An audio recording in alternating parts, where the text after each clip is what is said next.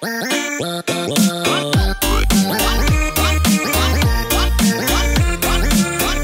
Всем привет! Не так давно я встретил накопитель AMD Radeon R5 Series, прям как название видеокарт от AMD. И я очень сильно удивился, неужели AMD стали производить накопитель, так еще и под той же моделью, что и видеокарты. Ну и конечно же я решил его приобрести. Цена бартера этого чуда на рубли получается 1500. Ну а позже, собрав информацию про этот накопитель, я решил выкинуть его нафиг и не снимать на него обзор вовсе. Да потому что AMD никогда не занимались производством накопителей. Да ладно, ладно, шучу. Все равно предлагаю познакомиться с этим плагиатом, который использует чужой логотип и марку. Если кто-то не знал, AMD производит вычислительные процессоры, а также графические процессоры для видеокарт. И, естественно, SSD они никогда не производили.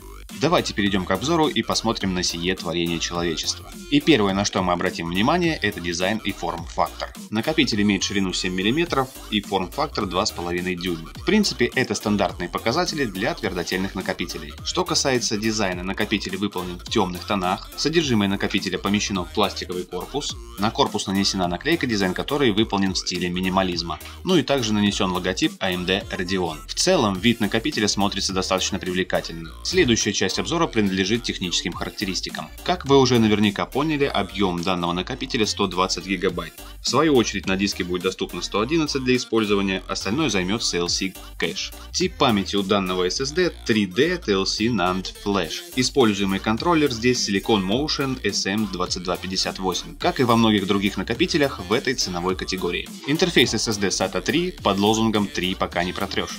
Ну вы поняли шутку, ха-ха. Скорость чтения до 530 МБ в секунду, а скорость записи до 330 МБ в секунду. Это заявленные скорости от производителя. Trim режим поддерживается. Фирменного ПО для этого накопителя не существует. На упаковке указано 3 года гарантийной службы данного SSD. Но проверить эту информацию из официальных источников информации мы не можем, потому что сайт производителя, указанный на той же упаковке, попросту не существует. В интернете большое количество противоречивых отзывов и обзоров. Многие отзываются об этом накопителе не очень тепло, так как он недолговечен, а также имеет большое количество брака.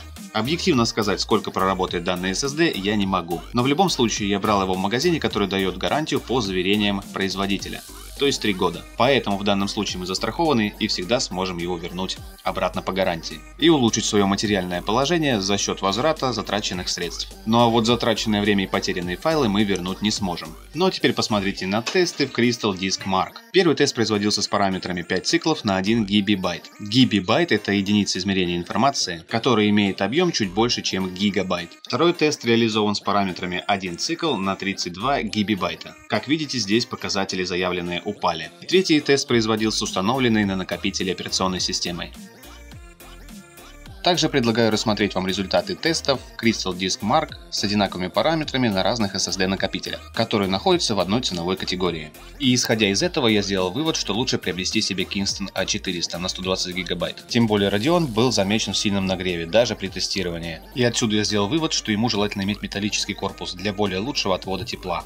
Ну и на этом я хочу закончить с обзором. Мне до сих пор непонятно, почему магазины позиционируют данный SSD как AMD Radeon. Если вдруг у вас имеется информация о производителе данного SSD, буду рад видеть ссылки на официальный источник информации в комментариях. Но дальнейшую судьбу данного SSD мы выясним очень скоро. У меня есть несколько вариантов, куда его можно определить. Например, у меня есть завалявшийся ноутбук Lenovo, а также совсем недавно мне подогнали очень старый и убитый системный блок. Я еще не смотрел даже, что там внутри и что там неисправно. Но по предварительной информации знаем, что там скорее всего умер жесткий диск. Так что в следующем ролике мы разберемся с этим бесплатным компьютером, а также я думаю, что определим туда SSD для работы. Ну и на этом я хочу закончить. Обязательно оставляйте свои комментарии, следите за моими роликами, у меня еще много идей. Обязательно подписывайтесь на канал, кто это еще не сделал. Всем спасибо за внимание, всего вам доброго.